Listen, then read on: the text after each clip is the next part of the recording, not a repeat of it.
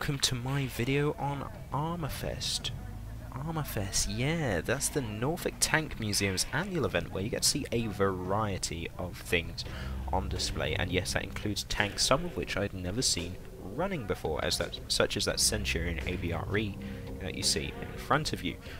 Armourfest is essentially, probably the best way to describe it would be a scaled down version of Tankfest, but with plenty of rarities on display and a whole lot of stuff on show. Still, just like its bigger brother at Bovington, it was no lesser in quality and had plenty of heart and atmosphere, and as it is a more smaller scale event, you can get more hands-on, such as me climbing inside and around this Mark IV landship from the First World War. There was plenty to see and it comfortably takes a good day and a half to witness everything there. And with their program running all throughout the day, there is plenty to see, and there's always live vehicles bombing it about in the arena, just like you would see at Tankfest. Some of these vehicles were very exciting, such as this early Chieftain variant, one without the Stillbrew armor, which seems to be more of a rarity. It's always the Stillbrew ones that you end up seeing especially at Tankfest, so it's quite nice to see one without that. But there was also plenty of other vehicles, including this M4A4 Sherman, which is definitely a treat at any one of these displays. There was simply so much to see. I'm not sure if this just applies to me, but one of the things that always grabs my attention at these displays were the models and the dioramas. If only I had more money and if only more of them were on sale. Some of these little dioramas were absolutely fantastic. And the level of detailing here, as you can see, is phenomenal. I mean, look at that. And there were all kinds of rarities on display. Some of them very niche, and that's all the better when you're like a serious, like, sort of collector and tank buff, and you're like, hang on, there's they actually have a model for that? It's just sort of kind of crazy stuff. There was a model of an FV4202. I mean, where else are you going to see an FV4202 tank model? just as an example. There were all kinds of weird ones on display, um, and some of them had even gone the extra mile to replicate the finer details. These really served as an icing or just a cherry on top, while the main actual tanks were outside, as a lot of these were situated in the main hangar. Just an example is one of the uh, finer details that uh, had gone into some of these models. I mean, take a look at uh, Take a look at that, for example. It's the FV4005. Yes, the mighty 4005, but actually the one from Bovington with the little information panel in front of it, just like it would be at the real museum. As I mentioned, this was in the main hangar kind of area. It was kind of like an old barn sort of building, which is where the main museum normally is, which was cleared out for the weekend to get tanks like this Chieftain up and running out in the arena uh, is, of course, the home of the Deborah II Mark IV female landship, which was also up and running for the weekend. Yes, a running World War One tank. And uh, when it wasn't running, you got to climb in inside it and all around it, and it was just awesome. I mean, it doesn't get more hands-on than being inside a landship.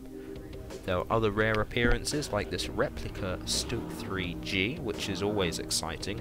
Even if it isn't quite a real Stug 3, it is still a very, very convincing, uh, you know, well, replica obviously.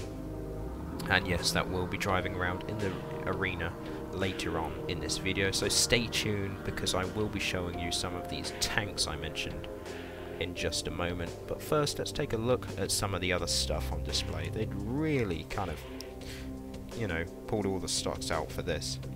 I, I don't, I'm not going to say I was uh, expecting something pretty small, but it was definitely what I had in mind, something a lot smaller than this, and uh, you know, I would consider it worth revisiting actually. Maybe I'll do a video on it next year as well, just to see how it compares to this year because this year feels like it would be pretty tough to beat with the uh, variety of stuff on display. Here is the Deborah 2 female landship that I mentioned earlier and yes you can actually go inside of this machine and it will be running later on so uh, you know that's cool. It wasn't just a museum exhibit. It was actually going to be running. It's a real female heavy tank from the First World War. And you could do all sorts of stuff. You could sit in all the seats. You could move the Lewis guns around. Uh, you know, have a fiddle with the turrets. Get a look at the engine. Sit in the driver's seat. And, of course, stick your head out the top. And if you don't mind my amateur camera filming, it's quite hard to climb around a landship with one hand holding a phone, so, you know. But without further ado, I think it's about time we check out some of these tanks in the arena that I might have mentioned.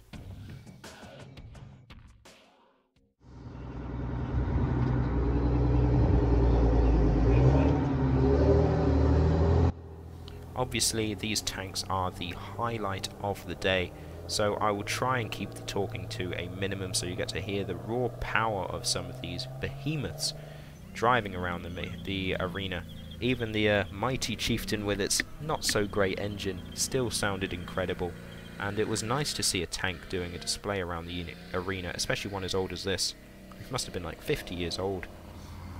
And it was able to fully turn the turret, raise the gun and so on. So, uh, yes, I'll stop talking now and let you enjoy the show.